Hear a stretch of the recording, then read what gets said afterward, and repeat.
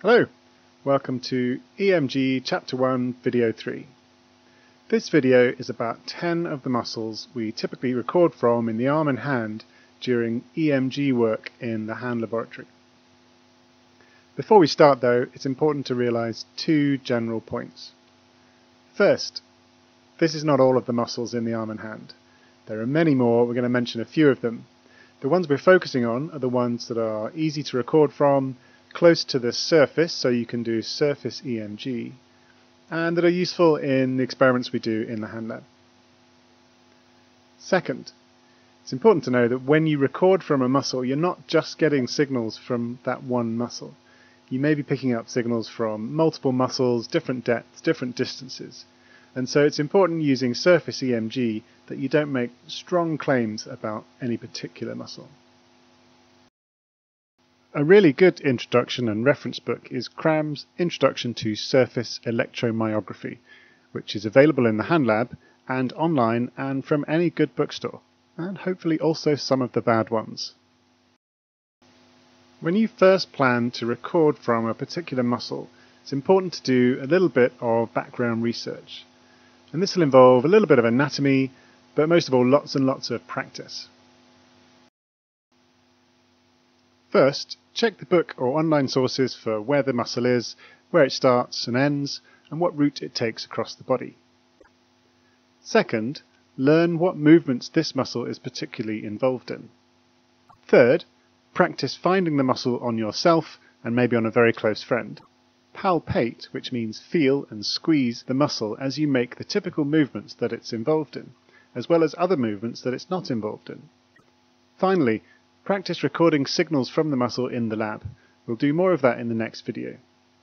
When you know your target muscle very well and you can get good, clear signals from it in the lab, then you're ready to go.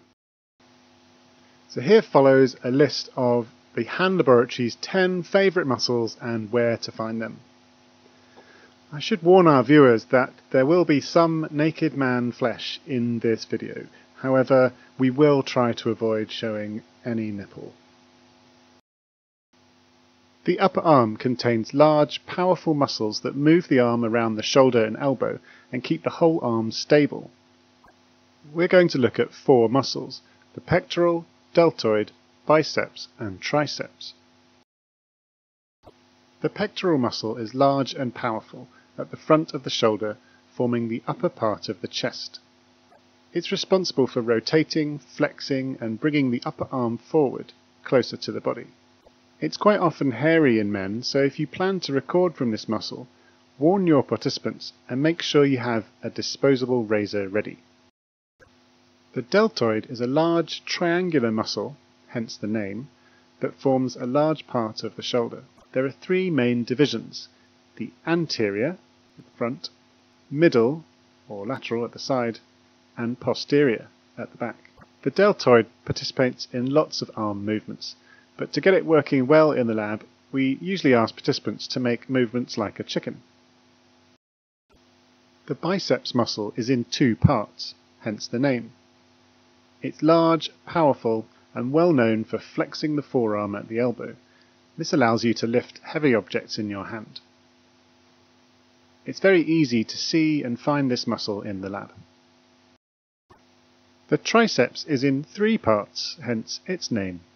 It's another large and powerful muscle which does the opposite movement to the biceps, extending the forearm.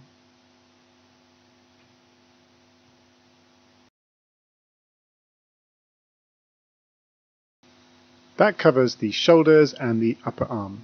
Next, the forearm. The muscles of the forearm participate in moving the elbow and the wrist, but also in extending and flexing the fingers. In fact, a lot of finger movements are controlled by muscles positioned in the forearm, so don't ignore the forearm. This image shows a cross-section through the forearm. Imagine holding your left arm out in front of you with your palm facing upwards. This slice is taken through the middle of the forearm, so it's like you're looking into your arm towards your hand. In grey, your radius bone is lateral on the left, and your ulnar bone is medial on the right. Here are the three main nerves of the arm in yellow. and here are the three largest superficial muscles of the forearm. We often record from these three muscles in the hand lab. The brachioradialis on the top left which moves the elbow, and two muscles which move the fingers. The flexor digitorum on the top right and the extensor digitorum on the bottom left. At this point, note how many other muscles there are in the forearm at least 11 other muscles from the ones I've just mentioned. These muscles move the wrist, fingers and elbow. Don't forget them even if you're trying to record from the other muscles. The brachioradialis at the elbow helps to flex the forearm, for example when you're holding a cup of tea or shaking someone's hand. Don't confuse this muscle with the brachialis, which is on the other side of the elbow in the upper arm, underneath the biceps.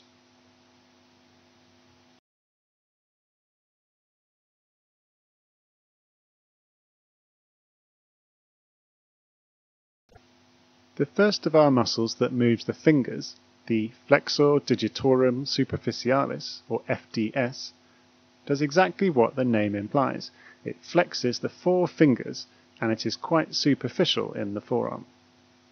It's also called flexor digitorum sublimis, and we just call it FDS. The extensor digitorum communis, or EDC, muscles on the other side of the forearm oppose the finger flexors and instead extend the four fingers.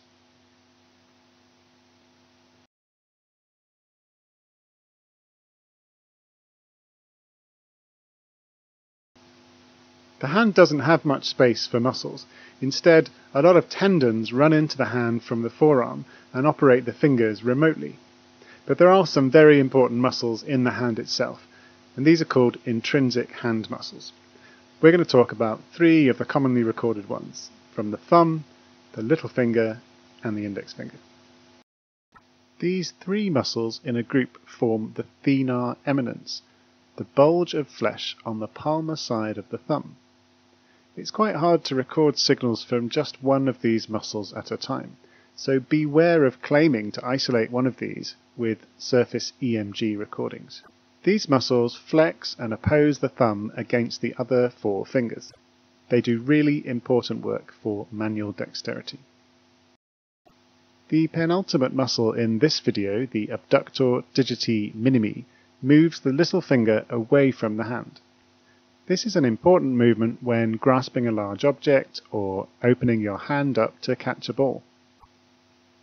All five fingers can be splayed apart or spread out like this.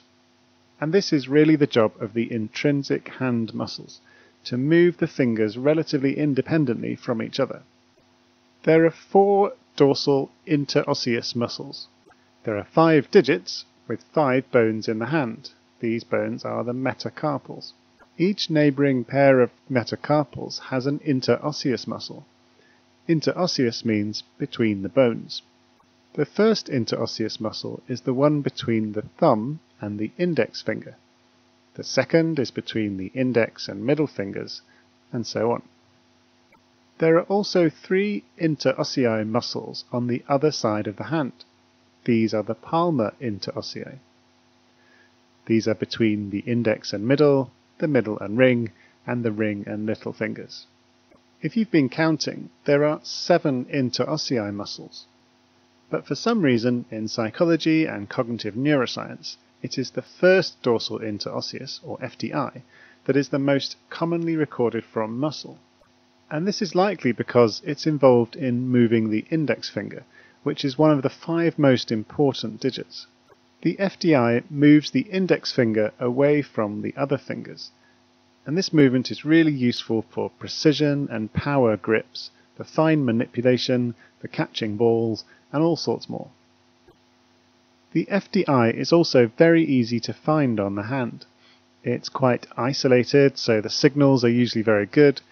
It is just large enough to get two electrode pads on, but it's not so large that you don't know where to put them. Indeed, the FDI is kind of like the Goldilocks muscle. It's not too large or too small. It's just right for getting good EMG signals, even for beginners. but you should be wary of choosing to record from the FDI just because it's easy. Unless you're doing a very generic motor study, you should take care to make sure that the, the muscle you're recording from in your EMG is actually involved in the behaviour that you're studying. And this is not always obvious.